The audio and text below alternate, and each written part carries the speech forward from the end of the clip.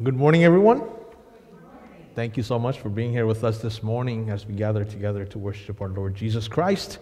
A couple of announcements here for us. Um, the Christmas baskets will still be doing that, and so we do encourage um, all of our committees to provide a Christmas basket for a fundraiser and anybody else who would be willing to donate for that. Uh, we do need the baskets by the 4th, and our drawing will be held on the 17th of December at 12 p.m. And so on that day, we'll be having a combined service. And so uh, if you have any questions in regards to this, please contact Randy. Not only that, we also have our 93rd annual turkey dinner here. I was told that the date in here is incorrect. Is that, is that the case? Or is this the right date? Fourth. It's the 4th, okay. So it's supposed to be the 4th, so just let all of us know that. So, was that? yeah, so the 4th. Is that Saturday?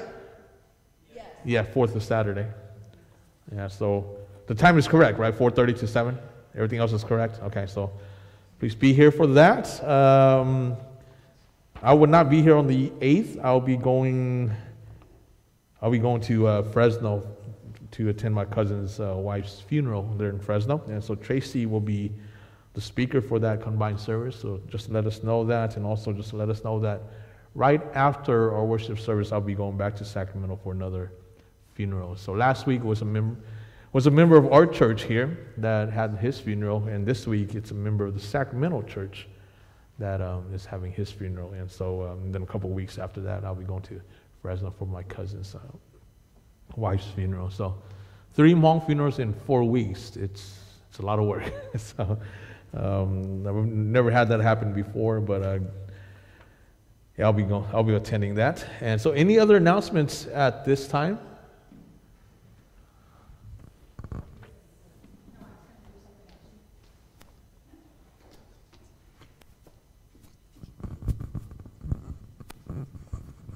First, first a public service announcement. 91 shopping days left. So, sitting over here is Darby Miller, trying to act nonchalant. Jerry, Jerry. Sorry about that. uh, she sold her house. I mean, it's sold. So we're going to have a we're going to miss you party at the coffee hour for her. So we will all really miss you. Thank you, David.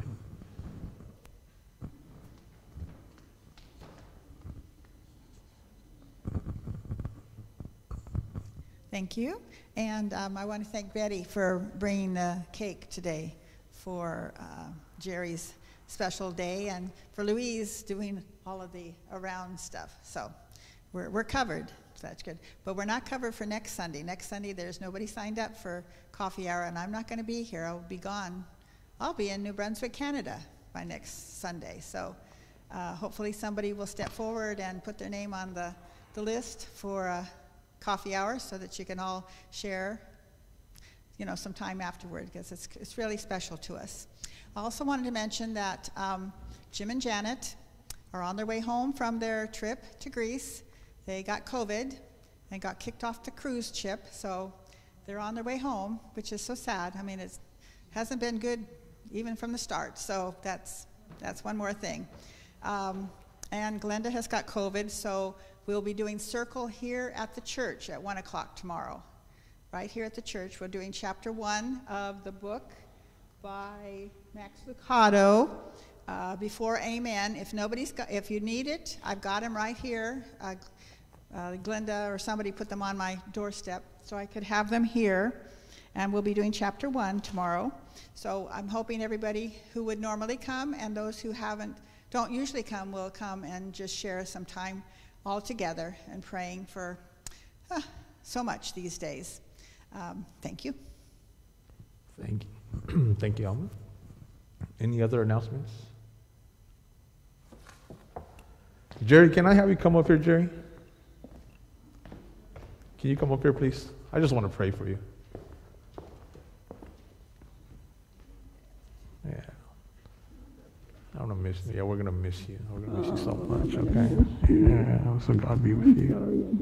Yeah, it's okay. It's okay. My cell phone went out. My old old cell Oh, really? Yeah. I'll pray for you. Well, before I pray for Jerry, I just want to give us an opportunity to come up and just to say bye to her, or just yeah, just say a couple words to her before she, she goes. Today It's going to be her last day, and um, after that, I'll pray for her, and then we'll go from there. Yeah.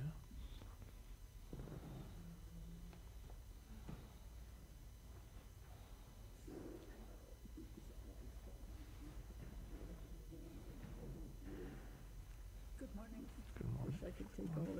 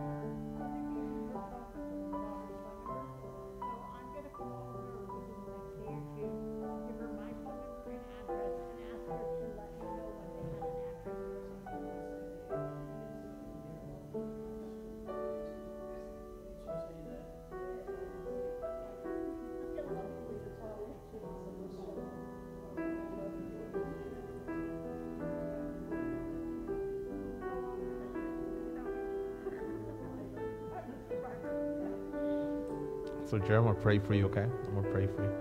So, if you're able to, please stand with me and let us pray for Jerry.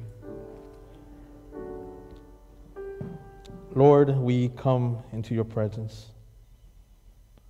We come to thank you so much for all the memories, all the times that we've shared together, for all the love that we have shared, Lord. We thank you so much for our sister, Jerry. No matter where she may be at, she will always be our sister. She will always be a part of our church. Lord, as she is getting ready to move to Texas, Lord, we ask that you bless her, be with her, protect her, guide her, continue to watch over her, and continue to bless her, Lord. Keep her safe, keep her healthy till we meet again, Lord. We thank you so much for her presence. We thank you so much for all the things that you have blessed us with. We thank you so much for her, for just having her to be a part of our church. We'll always be in gratitude to you, Lord, for blessing us with her presence.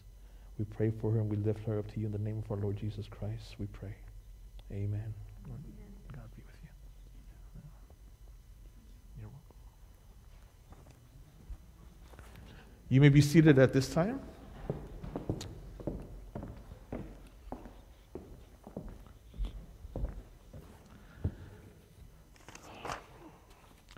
Oh, it's time for us to go do the call to worship, so please stand if you're able to. Join me for the call to worship. Wisdom cries out in the streets. Come and listen to the words of life and love.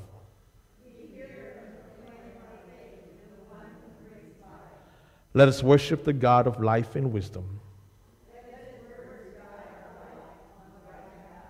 In this time of worship, let us truly know what it means to be a follower of Christ.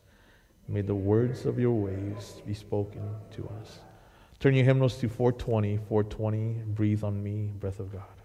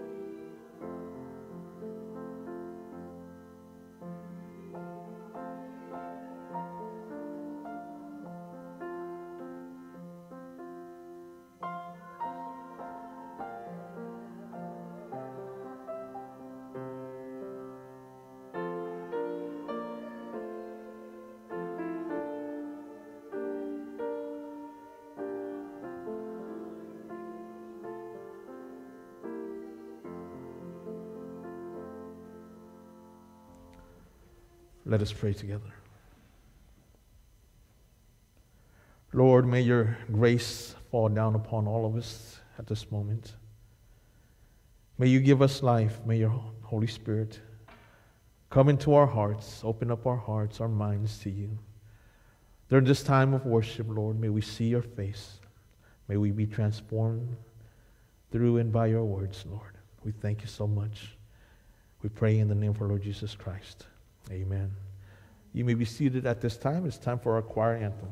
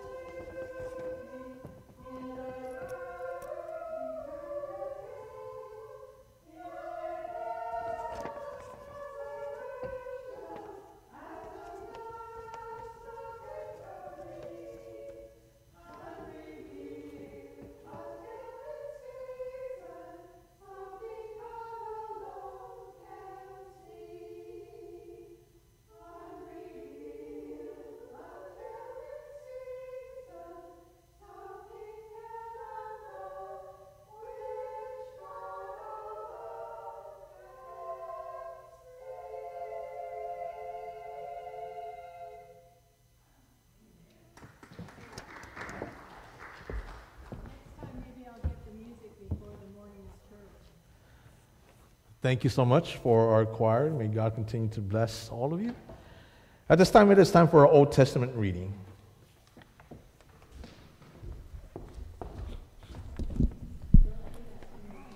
The Old Testament reading this morning is from Proverbs 1, chap, uh, verses 7 to 9.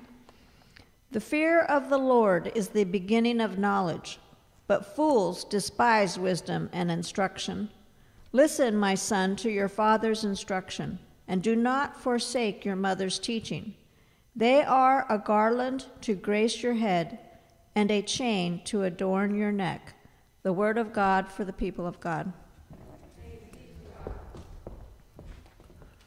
Please stand with me if you're able to turn your hymnals to page 432. Jesus, Jesus.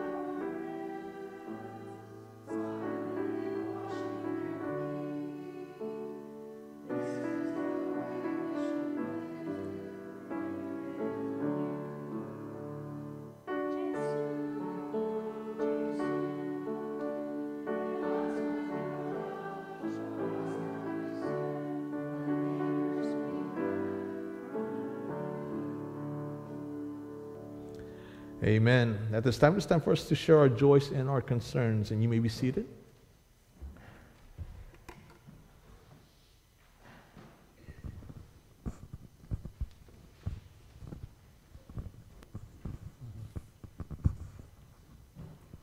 Um, Bob just had uh, surgery on his face. Uh, He has had a a melanoma taken off. And uh, so you probably wonder how come he's all patched up. So I thought I'd tell you, he's fine.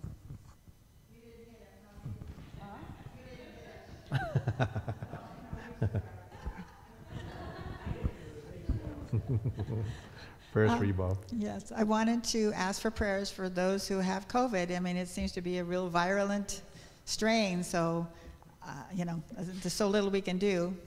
But um, just uh, wearing masks, all that kind of thing helps for sure. And I also wanted to say, as this is a joy, uh, that our bishop is back with us. Uh, they voted. She had, I mean, it's been three years, I think, that she's been away from us with uh, um, Miss Dyck. Mrs. Dyck was the, our bishop for the time. And she, they went through the trial, um, took them, I think, three days. That was it. And they voted 13 to 0 that whatever happened, and I don't have a clue, uh, was not anything that she did. So she's back. She's back with us. And I think that's a real joy. You know, I can imagine how her life has been during these time, this time that she's been away and under a cloud, I'm sure. So I'm just thankful that she's back. She is one of the best, sweetest, most well, she's back, so that's good. Yeah, thank you, Jolene. Thank you for sharing that.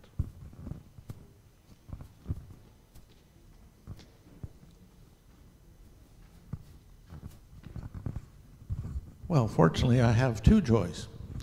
One is, is a good childhood friend of mine, uh, Lynn Morosi.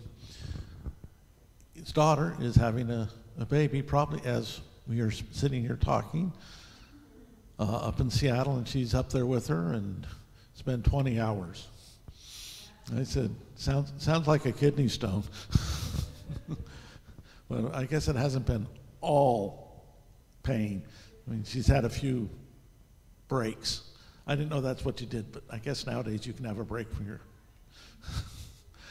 uh, and the other thing is, is a internet friend of ours, Steve Jelf, who is 83. He calls himself the Dauntless Geezer, and it's, uh, he's one of these independent guys, just really independent. And he was driving his 1915 Model T Roadster uh, to the Old Car Festival in Dearborn, Michigan, which is a big, big old car event. And he travels across a couple of states. He doesn't worry about getting the Model T and going. Well, he got T boned. And the car looks like, I'm surprised Steve's still with us. And he did damage an eye socket, and there's some other things. But he's pulling through. He's starting to tell jokes, and he's starting to be ornery like he usually is. So we're all very grateful that he's recovering. Thank you, David.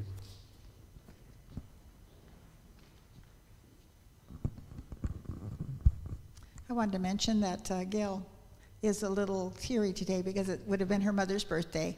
And so, and we miss the Browns, Margaret and John, here at the church because they were such a, a big part of us and our circle here. So, uh, just prayers for Gail and for the family as they remember their grandma and great grandma. Thank you for sharing that prayers.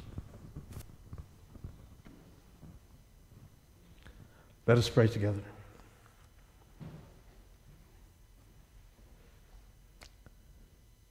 Lord, how wonderful you truly are. You're always amazing every time that we come before you. You're always perfect in all the things that you do. You can do no wrong. You created the heavens and the earth. You created all things. You breathed life into each and every single one of us. You continue to hold us in the palm of your hand. You continue to guide us and watch over us at all times, Lord. As we come before you this morning, we bring all of our joys and our concerns to you. Lord, we lift up Bob to you. We lift up all those people who have been affected by COVID. We lift them up to you. We lift up our bishop to you. We thank you so much for, for this trial to finally have some closure to it, Lord. We thank you so much. We thank you so much for bringing her back to be with us to lead us. Lord, we pray for the new children, the new babies. We pray for those who got into a car accident. Lord, we pray also for Gail and her family as they remember their grandparents, Lord. We pray for all of us. We ask that you be with us all. Continue to strengthen us. Continue to build us up for your, your kingdom. Continue to bless us and love us. Continue to open up our hearts towards one another that we may serve each other as your Son, Jesus Christ, served us. Allow us to love one another as you have loved us so much, Lord. We thank you so much for all these things. And once again, we thank you for Sister Jerry. We ask that you just continue to be with her. We continue to lift her up to you. Lord, we love her so much, and we are going to miss her so much, Lord. But we're confident that you'll always be with her no matter where she is at. Lord, we ask that you continue to bless our church, continue to bless our children, continue to bless everybody here in our congregation, that we may continue to grow in our faith. Whatever it is that may become a hindrance to our faith, Lord, we ask that you remove these things and just keep us close to you at all times. And so let us pray the prayer that your Son Jesus Christ once taught us. Our Father who art in heaven, hallowed be thy name. Thy kingdom comes, thy will be done on earth as it is in heaven. Give us this day our daily bread, and forgive us our trespasses as we forgive those who trespass against us. And lead us not into temptation, but deliver us from evil. For thine is the kingdom, and the power, and the glory forever. Amen. It's time for a New Testament reading.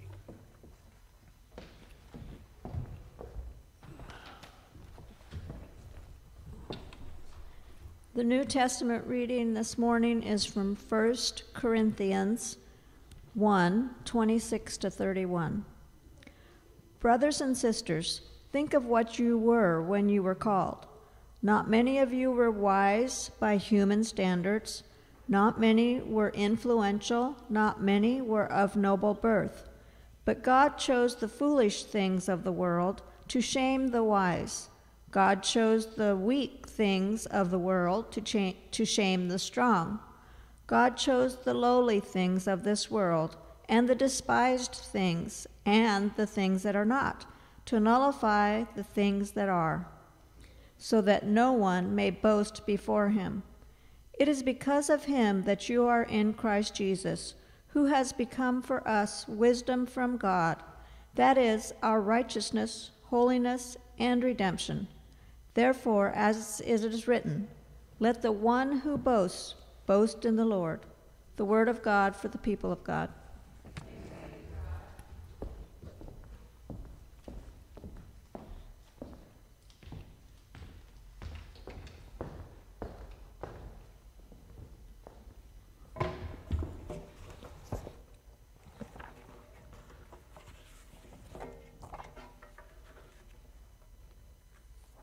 The wisdom of God.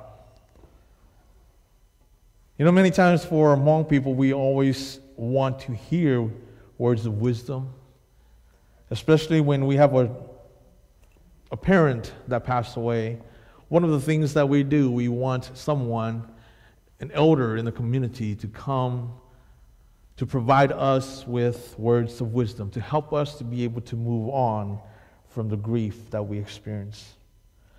Well, today we'll be hearing some words of wisdom. Some words of wisdom that does not come from an elder, does not come from another person, but it comes directly from God Himself. But of course, God is using someone here to write these words down for us. And in the case of Proverbs, God used a king to write these words down for us. His name is King Solomon. As we read the scriptures, as we study the Bible, we see that in the scriptures, God used many authors. Some of them were kings, some of them were prophets, some of them were apostles. Even there was a medical doctor by the name of Luke who also wrote in the New Testament. But here in the book of Proverbs are the words of King Solomon, the son of King David. Now, Solomon became king when he was around 20 years old after the death of his father, David. He ruled for about 40 years. He was the one that built the temple in Jerusalem. And he was the last king of a united kingdom for Israel. After his death, his son Rehoboam took over the throne, and there was a civil war, and Israel split into two countries, into two nations the northern kingdom and the southern kingdom. And yet, out of all of King Solomon's accomplishments, one thing that stood out the most about him, at least for me, as I study his life and as I read about his life, the one thing that stands out about him was that when he had to ask God for something, the very thing that he asked God for was wisdom. In 1 Kings chapter 3, verse 5, in a dream, God said to King Solomon, Ask for whatever you want me to give you. In 1 Kings chapter 3, verse 9, Solomon responded to God by saying, Give your servant a discerning heart to govern your people and to distinguish between right and wrong.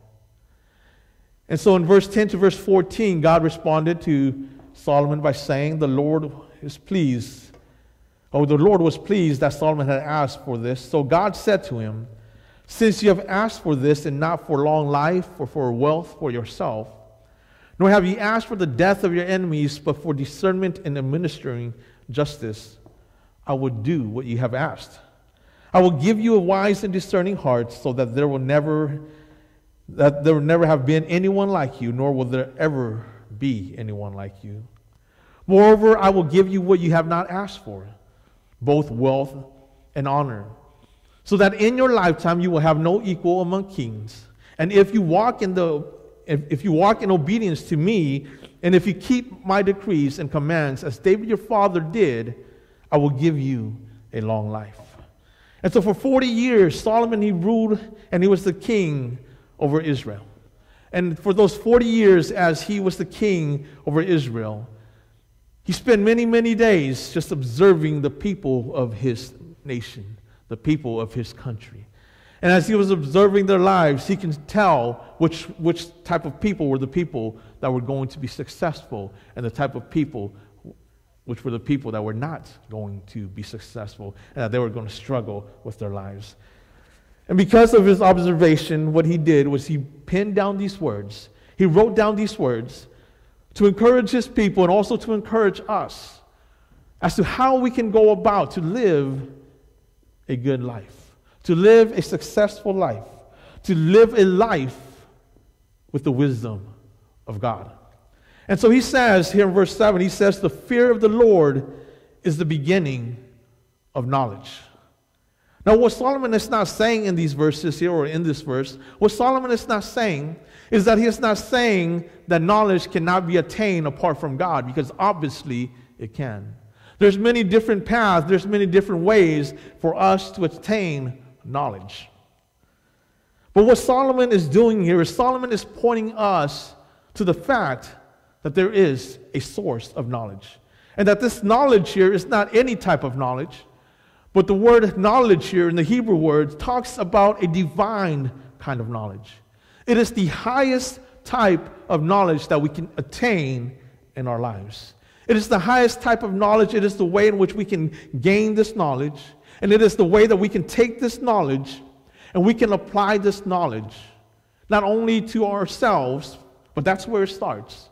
That we are to intellectually be able to attain this information, these facts, this objective reality, this objective truth, that we're able to, that we need to be able to attain these things.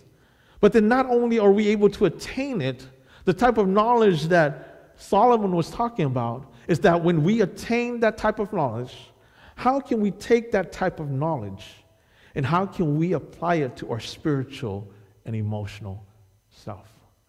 So, how do we apply that first to ourselves? And then once we're able to apply that to ourselves, then how can we take that knowledge and also apply it to others, to our families, and our relationship? How do we take that knowledge and apply it to our community, to our nation, to our country? And yes, even how do we take that and apply it to our relationship with even our enemies? That how can we take it? For example, we all know the fact is that God is good. Well, if God is good, how does that apply to me? How does that apply to me? Well, if God is good, how does that apply to my family? How does that apply to my relationship with my wife? How does that apply to my relationship with my children? How does that re- apply to my relationship with my community, with my nation, and with all the people across the globe? How does that even apply to those people that I disagree with? And so so Solomon is trying is, is making a point here that we need to try to understand everything objectively. Even when we disagree with somebody, that our, our, our whole purpose is to try to, to understand them from their point of view and not so much just from our own point of view. And so that way, in that sense, we can use the knowledge that we have And we can apply that into a relationship with other people. And so this is the type of knowledge that, that Solomon was referring to. But of course, he's also asking us, where does that knowledge come from? Where does that knowledge come from?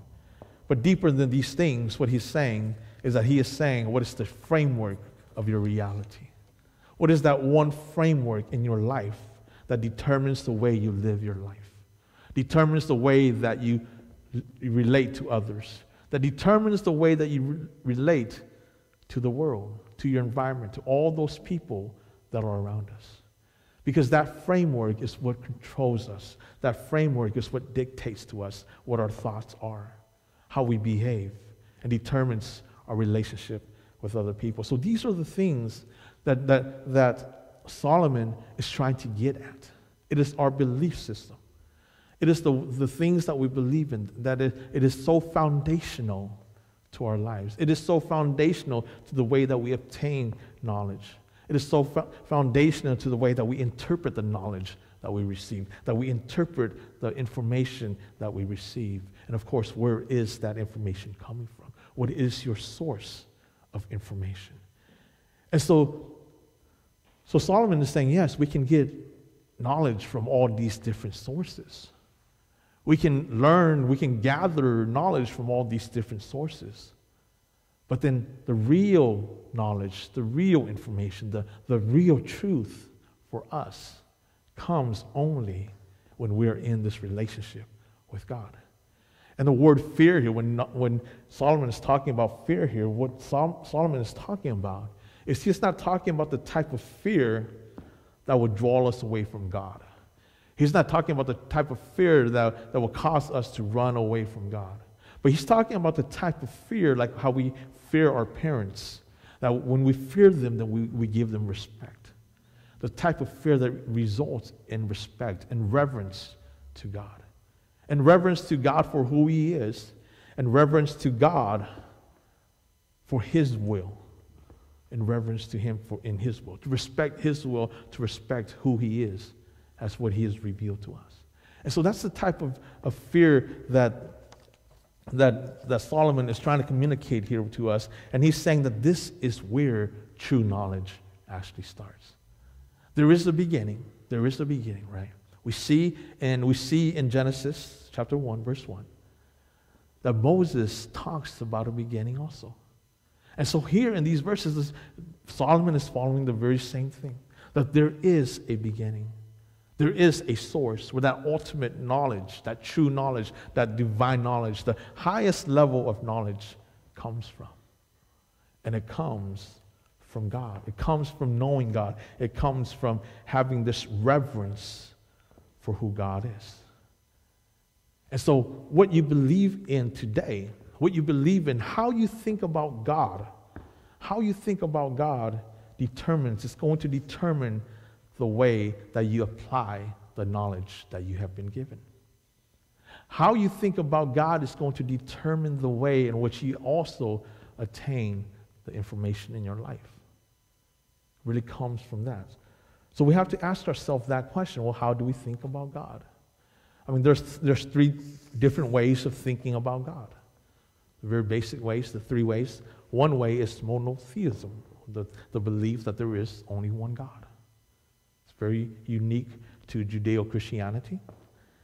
And then there's also the idea of polytheism, that there's many, many gods. Do we believe that there are many, many gods? And then, of course, nowadays we have atheism, that there is no God. And we have to understand that Moses was writing the Torah or the Pentateuch in the context of these, these worldviews. And so to Moses, he was arguing for the existence of only one God, while he was living in a culture of many different gods. And today we're living in this culture of atheists, this atheistic culture, in which we, many people are starting to move towards that idea of no God. But you see, the end result is pretty much the same thing. Because whether you have no God or you have many gods, it ends up being the same thing. Because when there is no God, then we become our own God. When we become our own God, then there's many different gods because each of us is a God.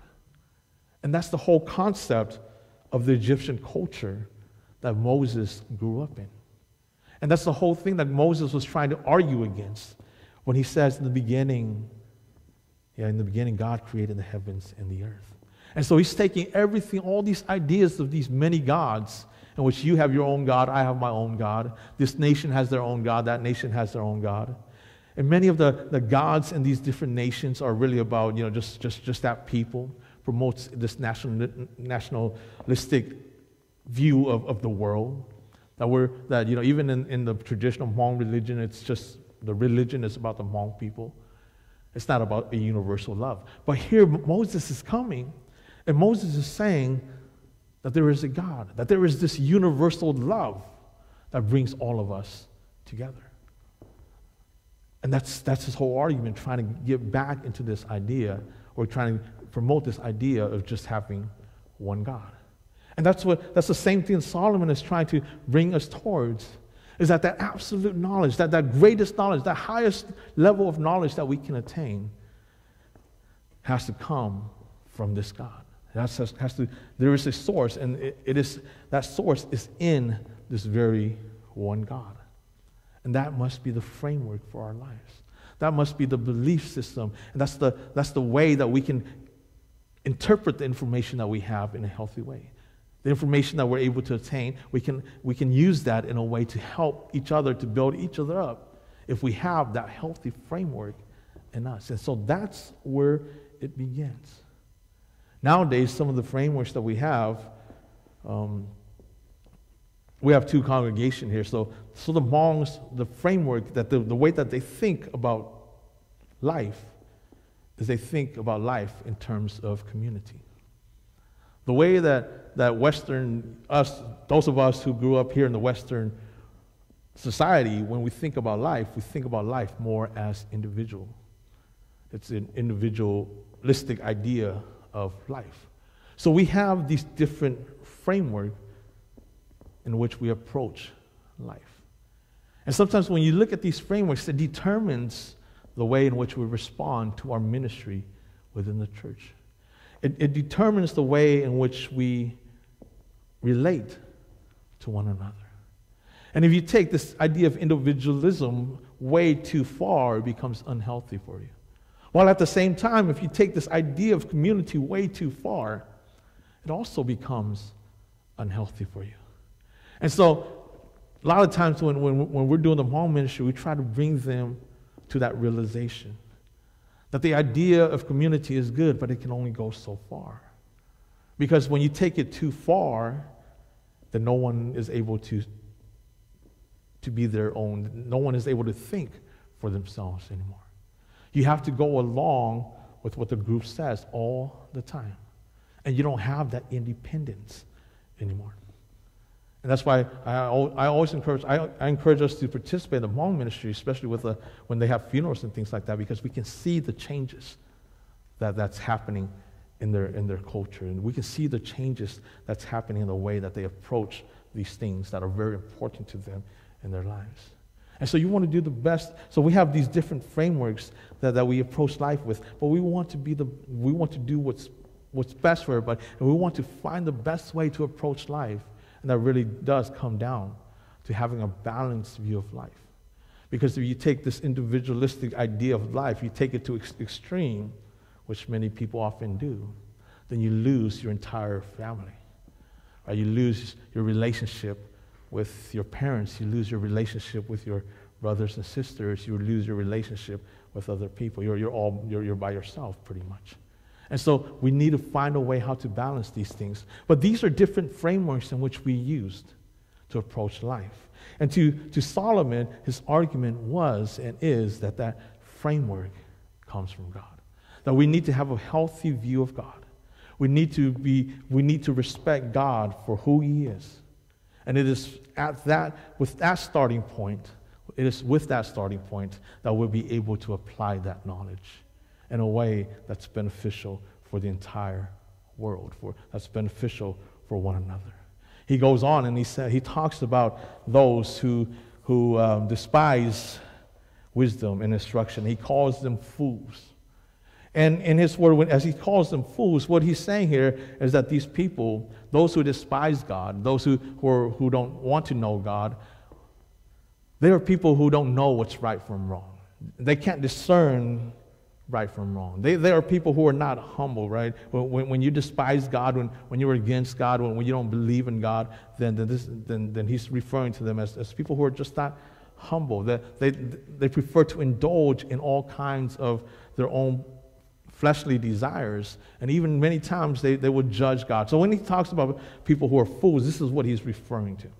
He's referring to those who reject God. He's referring to those who are not humble. He's referring to those people who just don't know what's right from wrong and they just indulge in whatever kind of desire that they have and they can't control themselves. A lot of times when we read the scripture, it often talks a lot about being self control, being able to control yourselves from these, these desires that you may have. And so when, when, when Solomon's talking about fools, that's what he's talking about, is people who just simply don't have any self control. And that and we don't have that. He's saying that they don't have that because they, they despise wisdom. They despise wisdom, which is they despise God. They don't, they don't believe in God. They don't trust in God. They don't believe that there is a God. And so, so what, what he's ta- telling us here too is that he's also telling us here that as we're seeking for these wisdom, as we're looking for this, that we need to understand that there, there must be this right this right foundation that we must build our wisdom, our knowledge on. That there is a right and a wrong foundation. So even though we can find knowledge from anywhere, that the right foundation is to find knowledge in God and who God is. And that God has made this available for us. That God has made this type of wisdom available for us Proverbs chapter 1, verse 20 to verse 21, it says, Out in the open, wisdom calls aloud. She raises her voice in the public square. On top of the wall, she cries out. At the city gate, she makes her speech. In James chapter 1, verse 5, James says, If anyone lacks wisdom, he should ask God, who gives generously to all without finding fault, and it will be given to you. And so, so, what, what Solomon is saying is that, yes, there's this right foundation, there's this place where we need to start that, that will lead us in the right direction to finding the, the, the highest level of knowledge. But then at the same time, it's not like this knowledge is now hidden from you because God has not hid this from you. God has made this available for you. All you have to do is seek for it.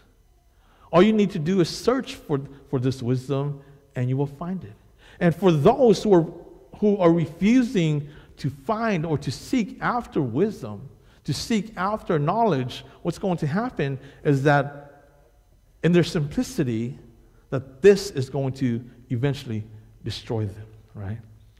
Without searching for knowledge, without searching for, for this wisdom that comes from God, we're simply going to destroy ourselves. He says the complacency of fools will destroy them. But whoever listens to me, referring to wisdom, will live in safety and be at ease without fear or harm. So, the beneficial of seeking wisdom is to be able to live free of fear, right? To be able to live in a way that, that our lives are at ease. But without this wisdom, when trouble comes, it can easily destroy us. So, as he's giving us this foundation here that we need to find it upon God, He's also saying, well, once you, once you build this foundation correctly, you also need to be proactive in seeking that wisdom. You can't just say, I believe in God and I just leave it there and I stop. But, there, but there's more to that. That's only the beginning. The, the fear of God, that's only the beginning. The belief in God, the reverence for God, that's only the beginning. But you need to continue to seek for God. Continue to grow, your, grow in the wisdom of God. And you do that because God has already provided that for you, that it's free, it's there for you.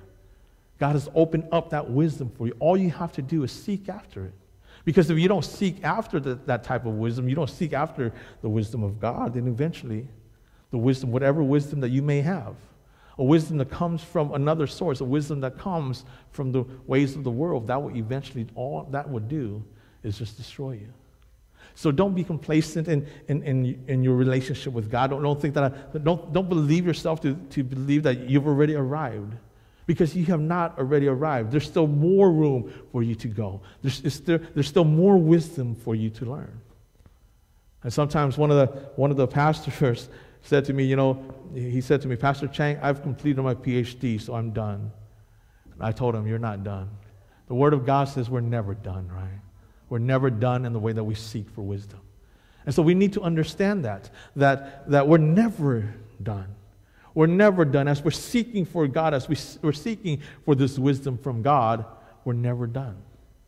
And so we must not be, you know, we must not find ourselves just staying there and, and, and, not growing anymore, but we need to continue to seek for because God will continue to give us with this, this wisdom for us.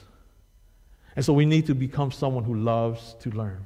Be a person who loves to learn. Be the person that learns about things. Be, be a person, person that, that when you learn about things, then you can take those things that you learn about and you can help other people with it. You can support, you can build other people up.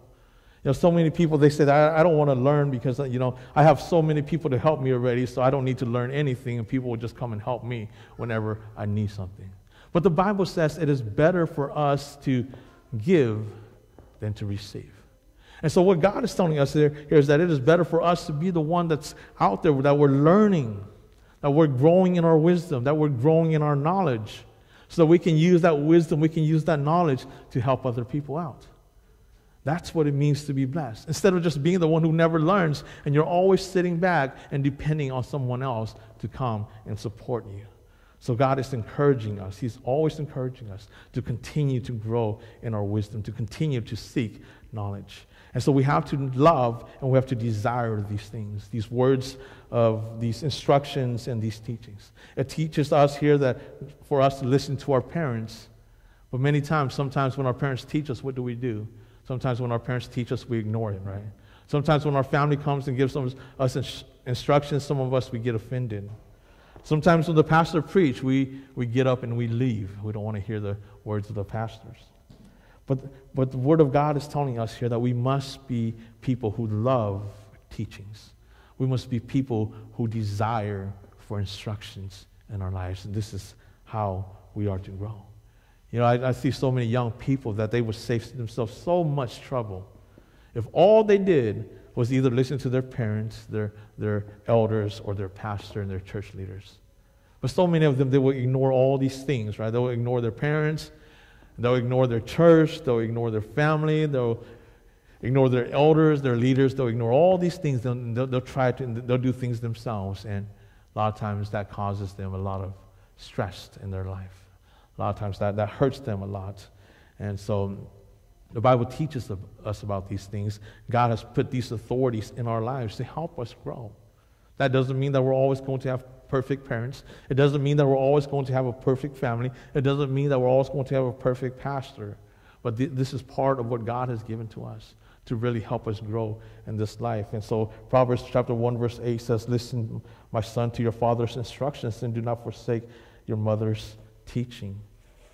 And he even encourages us that they are a garland to grace your head and a chain to adorn your neck. And so we need to learn how to be lovers of instructions and desire these teachings. The last point I want to point out for us is also this that the Bible teaches us here in these verses here that we need to find the right friends. We need to find the right people to be around with. I know there's a saying that says, Show me who your friends are, and I'll tell you who you are. Proverbs chapter 13, verse 20 makes it very simple.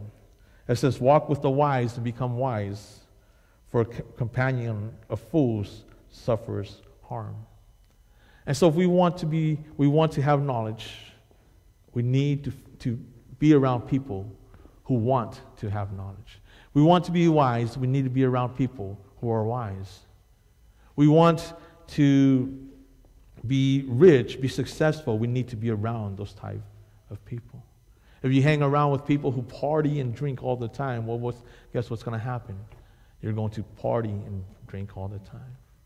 If you hang, if you hang around with people who are, are, are passionate about serving God, that's going to help you become more passionate about serving God. But if all the people that you hang around with are people who don't even want to go to church, that they have no passion for the Lord, then you're, you're going to end up with no passion for the Lord. And so the Bible tells us here, the Bible is teaching us here, that those that, that we associate with is also very important. For us to find knowledge, we also need to be able to associate ourselves, hang out, or be friends with, with those who can support us in finding out what this knowledge is really about. And so, the four things for us to remember today is that the beginning of knowledge comes from the fear of the Lord. And that as we, we build our foundation, that we must continuously seek for wisdom and knowledge and that we must also become people who love instructions, and that we must also become people who desire teachings. And we must also find ourselves to be around the right kind of people that can support us in our search for knowledge. Let us pray. Lord, we thank you so much for just being here with us this morning, Lord. We thank you so much for your words of wisdom. We thank you so much for Solomon, that you use him to write down these words for us thousands and thousands of years ago, Lord. We ask that you can encourage us as we continue to seek for your wisdom, as we continue to grow in our faith. And we thank you so much in the name of our Lord Jesus Christ, we pray. Amen. It's time for us to do our offertory.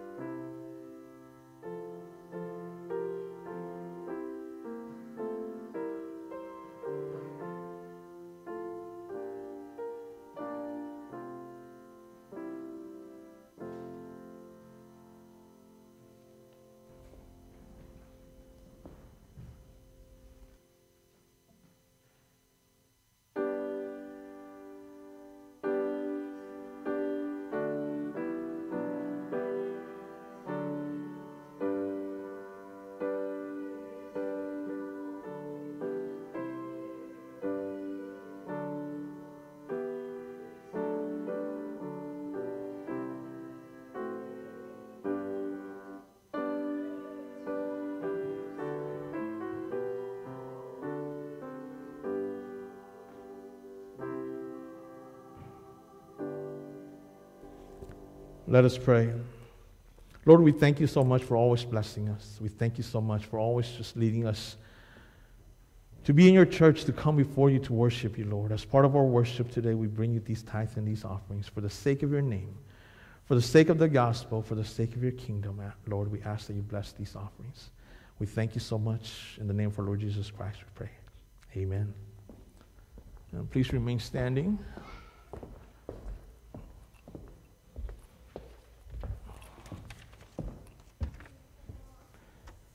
Turn your hymnals to 671. 671, Lord, dismiss us with thy blessings.